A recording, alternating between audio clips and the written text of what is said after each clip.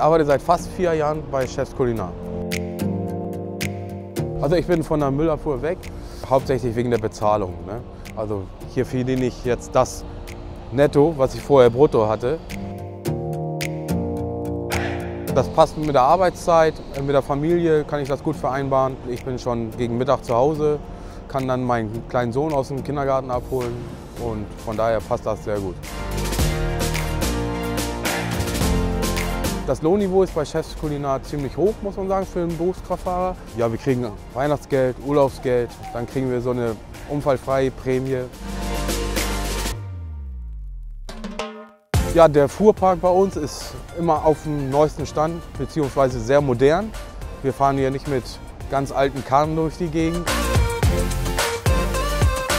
Der Kontakt zu meinen Kunden ist sehr gut. Also man kennt sich per Vornamen, man ist per Du und ja, kriegt auch mal einen Kaffee oder ein Brötchen auch.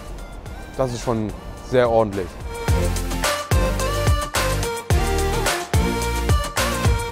Die Balance zwischen Arbeit und Freizeit ist sehr gut. Also man hat den ganzen Tag eigentlich noch vor sich. Also wenn ich im Fernverkehr wäre, dann wäre das für meine Frau gar nichts, sag ich mal. Und da ich immer jeden Tag zu Hause bin, ist das hier wesentlich besser in, in Hamburg in der Stadt zu fahren. Von daher fühlt man sich hier wohl. Meiner Meinung nach ist das ein sicherer Arbeitsplatz. Ich denke nie, dass das Unternehmen irgendwann pleite gehen könnte. Also das ist, kann ich mir nicht vorstellen.